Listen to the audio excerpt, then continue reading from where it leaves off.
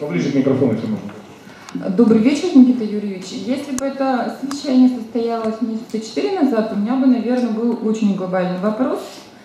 А, Меня зовут Халтурина Наталья Витальевна, я мама малыша двухлетнего. Но э, на сегодняшний день я хотела бы выразить признательность правительству Кировской области и администрации Белхуминского района за то, что все-таки садик э, на- Богородском у нас был введен в эксплуатацию, а, практически своевременно открылся, и вот я смогла получить место неожиданно для себя в более ранние сроки, чем планировала. И благополучно для вас, а у нас это было запланировано. нет, неожиданно для себя в сроки. То есть я планировала, что я более поздние сроки получу. а Видите, мы вопросами Поэтому- демографии занимаемся более плотно, чем район. То есть мы, собственно говоря, знали, что вашему ребенку потребуется э, Да, большое саду. спасибо. Побольше таких проектов. Хорошо, спасибо. Да. Так, коллеги, есть ли еще вопросы? Есть. Пожалуйста. Здравствуйте, уважаемый Никита здравствуйте, уважаемые присутствующие. Хотел бы представиться замдиректора Северного по лесному хозяйству Ходорги Виктор Александрович.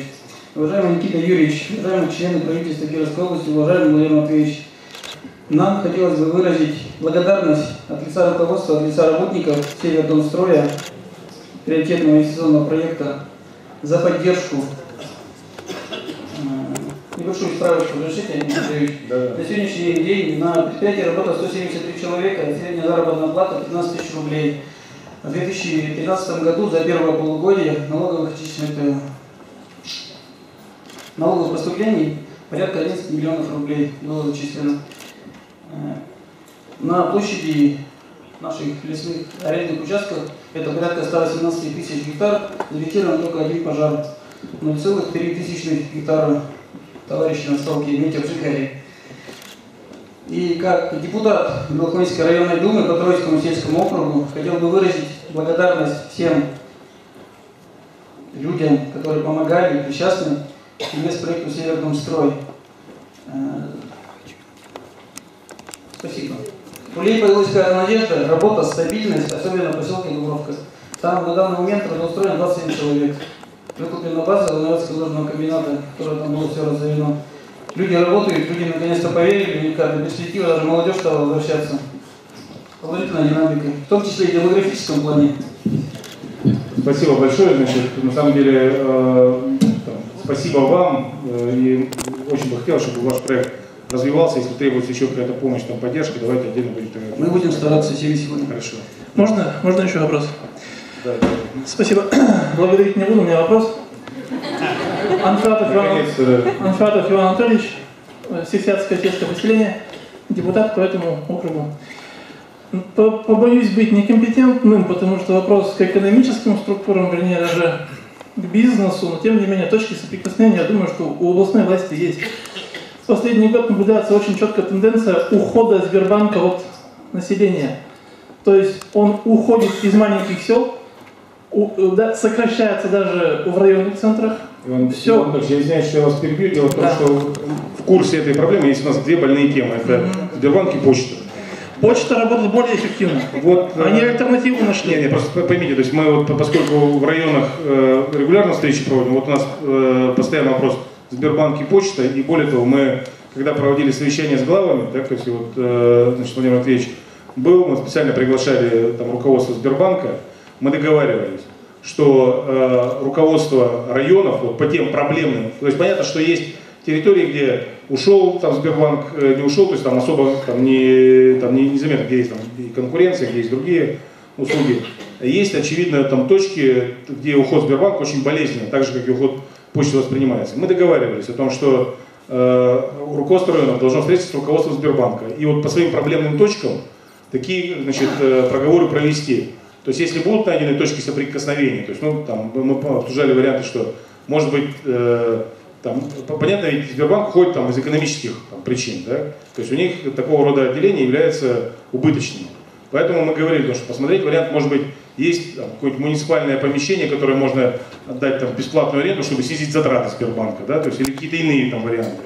Вот, э, насколько я понимаю, таких встреч не проводили, Владимир Андреевич, нет, по району. Вот я тогда попрошу просто там, я, я сейчас на, на ваш вопрос по конкретному отделению ответа не дам. Так? То есть, ну, мы этот вопрос действительно проговаривали. Общая и, проблема для области, ее надо везде решать, не только у нас. Ее надо решать, но надо понимать, что мы не можем сказать Сбербанку, нет, давайте держите значит, э, там места там, где вам невыгодно, так, то есть, значит, и, собственно, э, значит, там, работать в убыток. Точно так же, как по Почте России. У нас же по Почте России там доходило до, ну, вообще, там, э, они были бы смешными, если бы не были э, грустными ситуациями, когда Почте России сказали, значит, э, вот находитесь на своих как бы, местах, зарабатывайте как хотите, и у нас в какой-то момент Почта России, там на секундочку, стала крупнейшим продавцом э, алкогольных настоек.